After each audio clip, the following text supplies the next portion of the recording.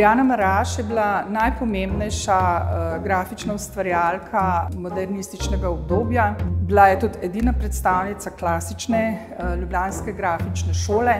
Njena dela, v katerih se ukvarja predvsem tematiko časa, psihološkimi stanji, eksistencialnimi vprašanji, so se zapisala pravzaprav za večnost.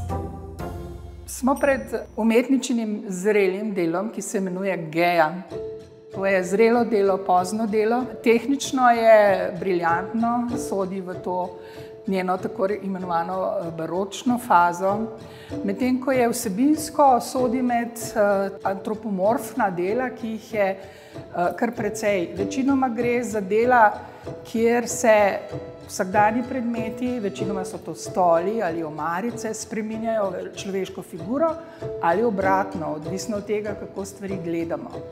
Ampak resnično se vsa zgodba na tem delu uh, odvija na sredini, na tej beli rani, na tej beli uh, brazgotini, na tej ženski esenci.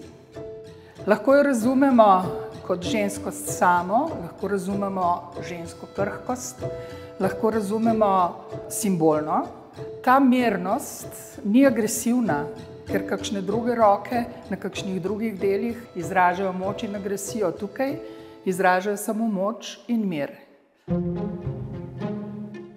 Ko govorimo o grafični tehniki Adriane Mraž, lahko rečemo, da gre za kombinacijo mojstrskega tečaja eh, grafike globokega tiska z inovativnimi postopki. Tukaj stojimo pred eno matrico njeno, matrico tega predalnika tukaj. Eh, verjetno se boste vprašali, zakaj je ta samo ena, tukaj so pa pravzaprav tri različne eh, figure.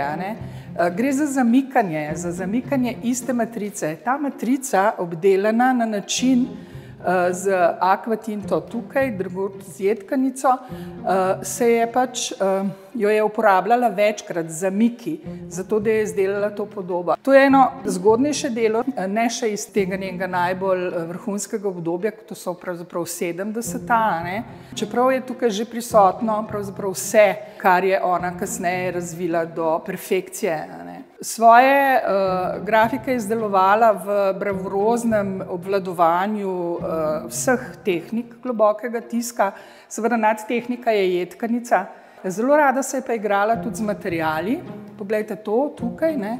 ni nikjer na matrici, to je bilo dodano, to je bilo obarvana žima oziroma obarvana nit in samo natisnjena po monotipskem principu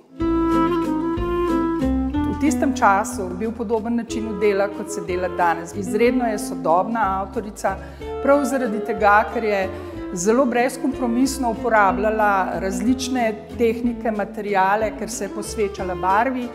In uh, v času, ko je grafika imela normative, ki so bili zelo specifični in so se jih grafiki držali in so bili na njih tudi ponosni, se je ona pogumno lotevala grafike na svoj popolnoma individualen način.